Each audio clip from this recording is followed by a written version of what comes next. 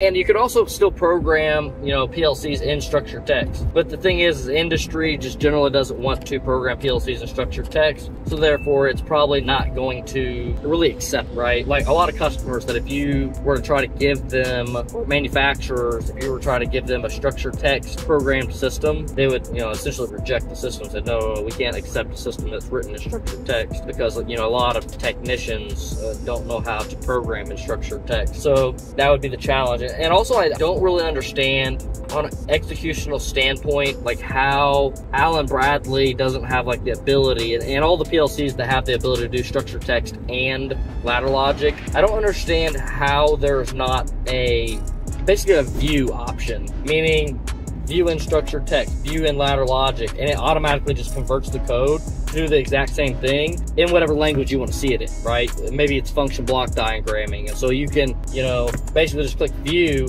and they have like their software has the ability to adapt the code on the back end to be able to view it in the way you want to view it. So if they do something like that, then that will definitely open up the door. And this is where I say the developers really, really needed when it comes to developing these type of systems. Because if you simply had the ability to just convert regular structured text to ladder logic, boom, no problem, done. I think that the AI is going to be very, very close to being able to execute that code that, or be able to write that code